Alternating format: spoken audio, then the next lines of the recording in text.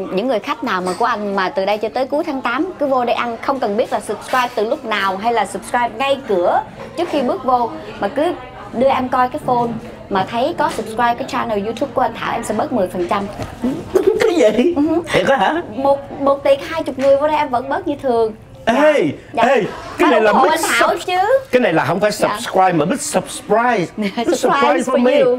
Dạ. tức là các bạn ai từ đây tới tháng 8 dạ.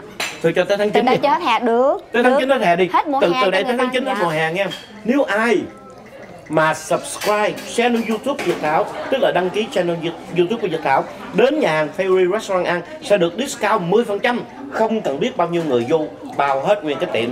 100 người cũng Đúng. vậy discount Dạ. 10% Dạ. nhớ nha các bạn. Subscribe channel youtube của Việt Thảo.